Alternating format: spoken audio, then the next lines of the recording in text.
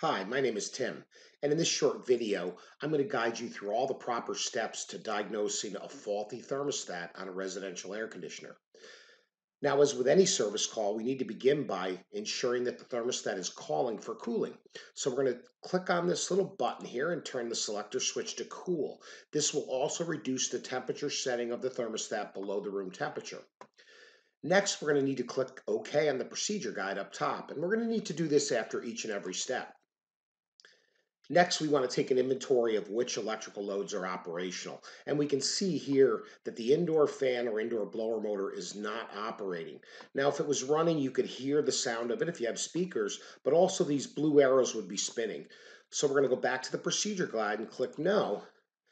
Next, we go to the outdoor unit, and we can see again neither the compressor nor the condenser fan motor are operating. So again, let's go back to the procedure guide and click no. So none of our electrical loads are operational here.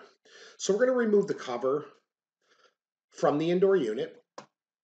And before we take any electrical readings, we're going to take out the wiring diagram. Now we want to look at the indoor unit wiring diagram. So click on this bottom left tab here and we'll see the diagram here.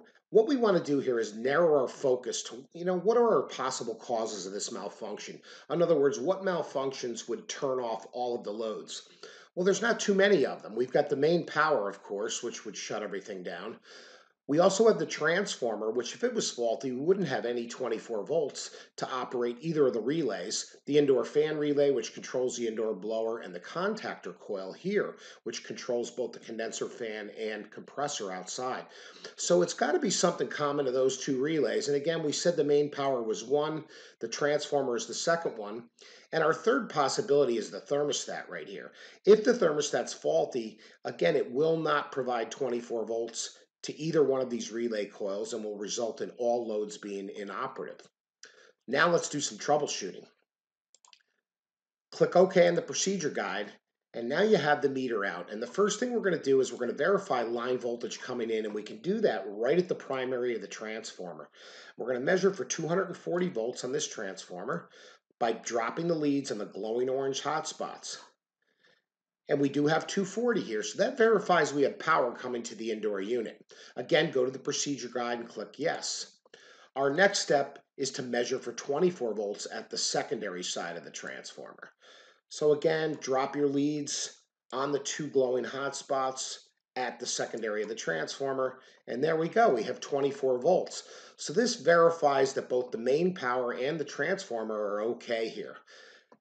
Now, before I proceed, I want to show you something. If we take the wiring diagram back out, we can see that the location of our leads in the actual circuit are shown on the wiring diagram here at the transformer secondary. And this is a really convenient way to learn and provide a connection between the wiring diagram and the actual circuitry within the unit. So I would review this uh, here and there as you go through each problem. So I'm going to store the wiring diagram. So what's next? Our thermostat.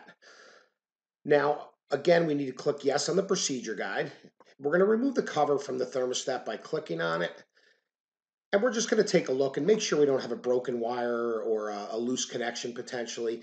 And it doesn't appear that we have any of that here. So it's really got to be our thermostat at this point.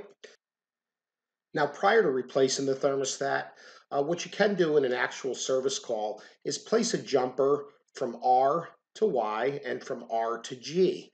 Uh, this will basically bypass the thermostat. And what's going to happen here, if the thermostat's faulty, uh, this bypass will cause all loads to come on and operate, just verifying the thermostat's bad. And we've kind of done this through a process of elimination here.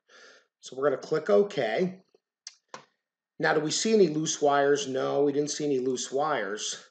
And before replacing the thermostat, I just want to show you here at the top left that that procedure guide that we followed at the top can also be launched here along the left so that you can review any of the previous steps you took, just in case you're not clear on one or more of those. So next we're going to click on the thermostat to replace it. And we've solved our problem. Now our last step is to go to the space and make sure cool air is being delivered. And we can see from this floor register that we do have cool air being delivered to the building. So that's all set and we fixed the problem.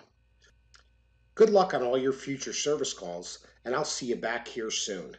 Thanks for watching. You can try our on-demand VR-enabled learning for HVAC by signing up for a free trial. Go to interplaylearning.com to get started.